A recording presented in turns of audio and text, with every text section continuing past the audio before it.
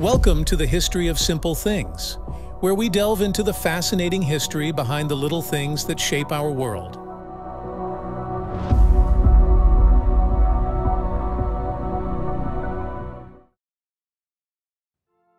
Imagine standing on the edge of a plane, thousands of meters above the ground.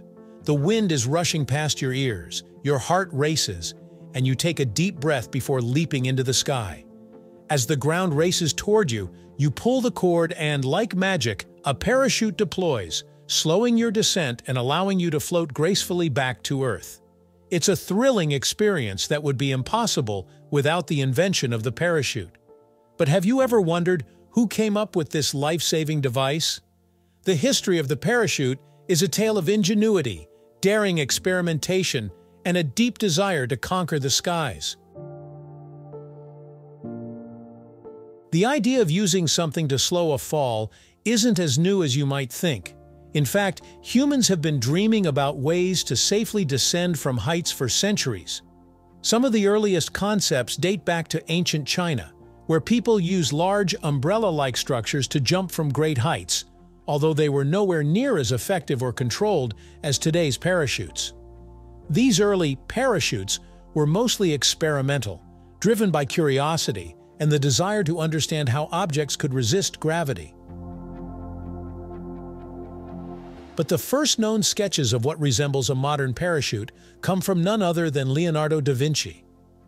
Yes, the legendary Renaissance artist and inventor wasn't just painting the Mona Lisa or designing flying machines, he was also thinking about how humans could safely descend from the skies. In the late 15th century, Da Vinci sketched a pyramid-shaped parachute in one of his notebooks. He theorized that with a canopy made of linen and a wooden frame, a person could jump from a height and descend gently. While Da Vinci never built this design, it laid the foundation for future thinkers to improve upon the concept. Though Leonardo da Vinci's sketches were revolutionary, it wasn't until the early 17th century that someone tried to put the theory into practice. Enter Fausto Veranzio, a Croatian polymath who took Da Vinci's idea and turned it into reality. In 1617, Veranzio constructed what he called a homo volans, or flying man. His parachute design was similar to Da Vinci's, a pyramid-shaped structure made of fabric, and it was the first parachute that a person actually used. He reportedly jumped from a tower in Venice, Italy, using his parachute to safely reach the ground. This moment marked the first known human jump with a parachute, and Veranzio's achievement was a significant milestone in the development of the device. But while Veranzio deserves credit for taking the leap, literally, his design still lacked the control and reliability needed for practical use. Parachutes continued to evolve over the next few centuries, with inventors across Europe refining and improving on the concept. In the 18th century, French balloonist Jean-Pierre Blanchard took the next big step in parachute innovation. Blanchard was an adventurous spirit, best known for making the first successful manned balloon flight across the English Channel.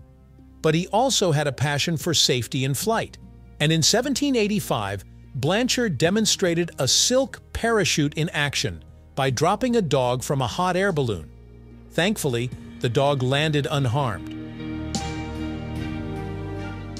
Blanchard's parachute was more refined than those that came before it. Instead of a rigid wooden frame, he used soft, flexible silk, which allowed the parachute to pack down more easily and deploy more smoothly. Blanchard even experimented with using parachutes for emergency escapes from balloons, but he never personally jumped with one. His contributions, however, pushed the design closer to the practical modern parachute we know today.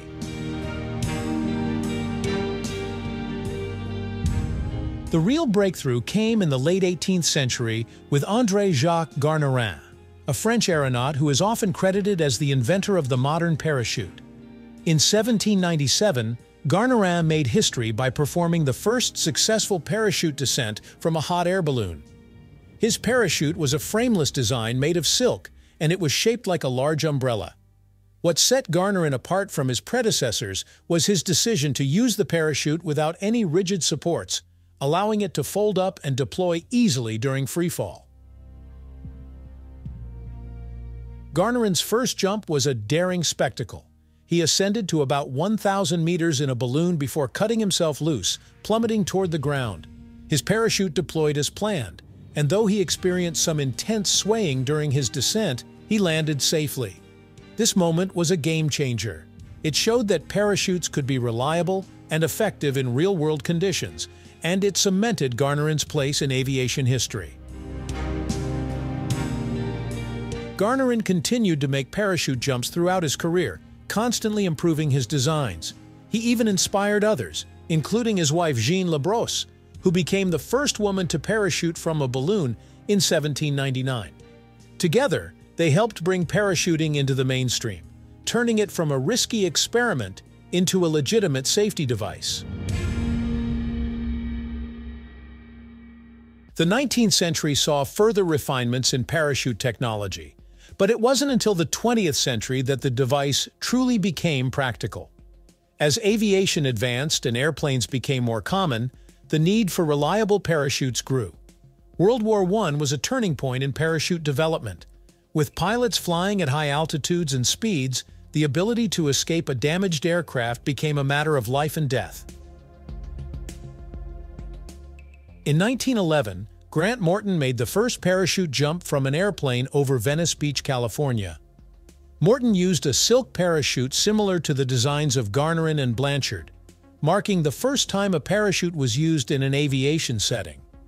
However, the parachute was deployed by hand, which wasn't always reliable in emergencies. The modern parachute that we recognize today, with a ripcord and a pack worn on the back, was developed in the early 20th century. One of the key figures in this development was Charles Broadwick, an American inventor who created a foldable parachute that could be packed into a container and deployed with a ripcord. This design became the standard for military and civilian parachutes, and it's still the basis for most parachutes used today. From Da Vinci's sketches to the daring jumps of Garnerin, the parachute has come a long way. What started as a dream of descending from the skies has become a vital safety device, saving countless lives and providing thrill seekers with an incredible way to experience freefall. While the parachute's history is full of daring pioneers and bold experiments, it's also a story of innovation, perseverance, and the relentless pursuit of human flight. Thank you for watching. If you have suggestions for our next video, feel free to share them in the comments below. We'll be sure to give you an acknowledgement for your contribution. Thank you for joining us on this journey through the history of simple things. Don't forget to like, subscribe, and stay tuned for more stories woven through the smallest details.